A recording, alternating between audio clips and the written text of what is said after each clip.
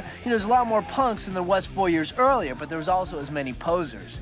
Posers were people that looked like punks, but they did it for fashion. And they were fools, they'd say. Anarchy in the UK. You see, posers. Anarchy in UK. Fuck's that? What good is that to those of us in Utah, America? It was a Sex Pistol thing, right? They were from England, they were British. That's what they did. They were allowed to go on about anarchy in the UK.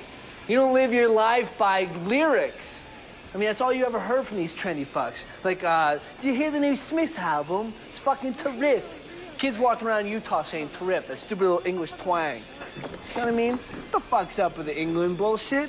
Union Jack is a fag. Man, knew a girl, right? Only have sex with a guy if you had a fucking accent. Can you think of anything more ludicrous in your life? It's every asshole in Salt Lake City. Let me tell you, plenty assholes in this general region that want to do a little of this. Would get her drunk and put on some kind of stupid fucking accent like, hey, mistress, do you fancy a shag?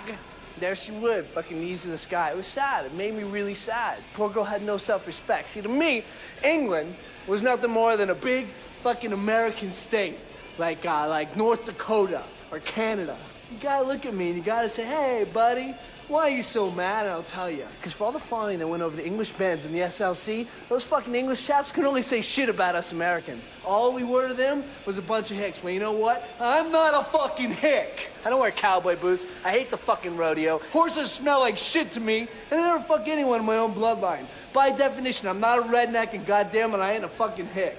Oh, the sun never sets on the British Empire. Well, the sun never sets on my asshole. Another thing that pissed me off, talking about who started punk rock music. Was it Sex Pistols in England? Was it the Ramones and the Velvet Underground in New York? Was it the Ramones and the Sex Pistols? Who cares who started it? It's music. I don't know who started it, and I don't give a fuck.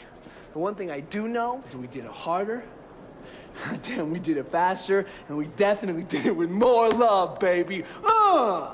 You can't take that away from us. Exhibit A.